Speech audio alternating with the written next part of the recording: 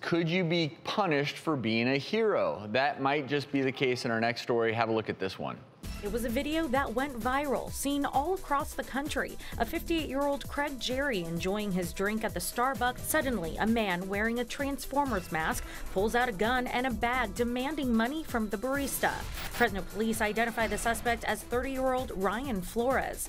In the video, Jerry is seen hitting Flores with a chair and a violent fight ensues. Investigators say Jerry was stabbed in the neck during the struggle, but managed to wrestle away the knife and stab Flores several times. Chief Jerry Dyer calls the Good Samaritan a hero, but Flores' mother, Pamela Clemente, says her son is a victim too. He has uh, 17 total stab wounds, lacerations, and defensive wounds. Clemente says Jerry used excessive force when trying to stop her son from allegedly robbing the Starbucks. The guy, in my opinion, went from a good Samaritan to a vigilante. Now, Clemente says her son plans on filing a lawsuit against Jerry for that alleged excessive force. Yeah. Wow is right. Wow. You hear this story and you see the footage, and of course, you're all asking yourself, would I be brave enough to do what that mm. individual did? Mary, is there a case here? Is there a possibility that the Good Samaritan? Okay, but does is it a good case? Could this Good Samaritan end up in trouble? He could. And, you know, what we do is in, in the law, we, we have this fancy term and it's called reasonable. Um, did he reasonably believe that he needed to step in to defend because you have a right to defend others? And then was his actions reasonable given the circumstances of what was going on? Well, so, um, Mary, to that point, I we're watching the footage, is it reasonable that he was first stabbed and then you can see that he's still wrestling. There's no control over that person, question, and that's why he, he was stabbing, right? So what do you think about The question that, that needs to be asked is, was he using excessive force? Mm.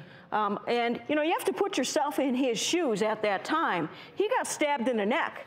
You can That's see. a life-threatening right. injury. And Absolutely. I mean, as a head neck surgeon, Absolutely. somebody stabs, stabs me in the neck, I think I'm going to die. And from what I, so I, I would fighting agree. for my life. From what I've seen, I would agree. You've got this cortisol output, right? So you're wrestling. It's yes. like we're all here in hair and makeup, and well, I think two stabs back would have been reasonable, not seven. right. You know what I mean? Like, can I can I say that if you, yeah. Mary, I know I am not in the legal system. I'm not a lawyer.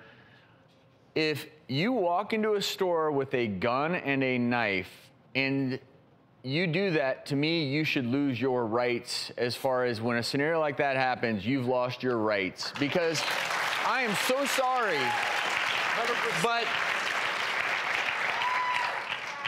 when, if that were me and I'm sitting there having a sandwich and I see that go down, and if I have the courage to try to stop this individual, the amount of adrenaline running through my system, medically speaking, is so mm-hmm. intense.